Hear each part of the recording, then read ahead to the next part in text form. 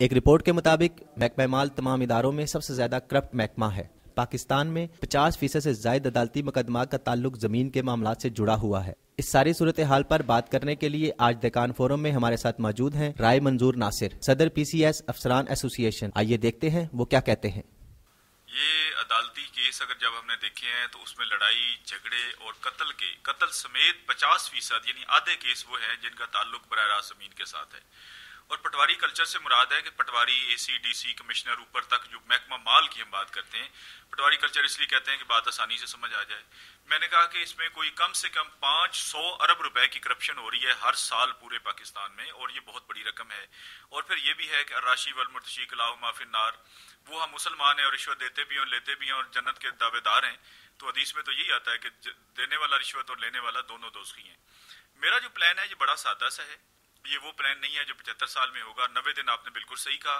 उसमें देखें ना रेवेन्यू अदालतें हैं, वो इस, इसमें है कि एक साल में फैसला करते हैं चार महीने में फैसला और दो उसकी अपीलें।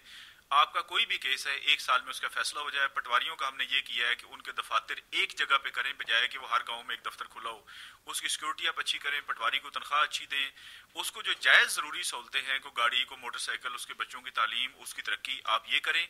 और रिकॉर्ड रूम की हालत बेहतर करें। आप देखें इस कंप्यूटर कंप्यूटर के दौर में और इन्फॉर्मेशन टेक्नोलॉजी लेकिन ये आखिरी चीज़ है, ये पहली नहीं है।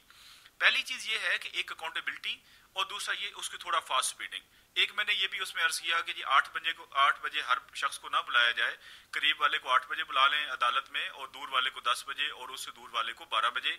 और अगर किसी दिन किसी साहब ने नहीं अदालत लगानी तो उसका काम है कि वो साइलों को टेलीफोन पे या मैसेज करके बता दे जी कि मैं नहीं होना आप तशरीफ़ नहीं लाइएगा।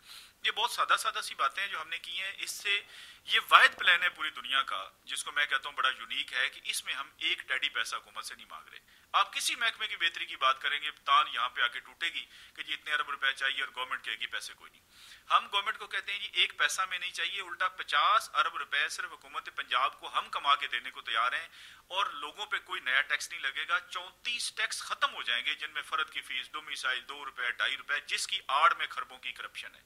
ये मैंने मुख्तलिफ़ तहसीलों में, मुख्तलिफ़ जगहों पर गुजर खान में, कोटा में, मैं डिस्ट्रिक्ट कलेक्टर गुजरात में रहा हूँ, वहाँ पे मैंने ये प्रैक्टिकल काम किए हैं। इसमें कोई सवाल जवाब हो, हम उसका जवाब देने को तैयार हैं और ये बिल्कुल नवे दिन में इंशाल्लाह।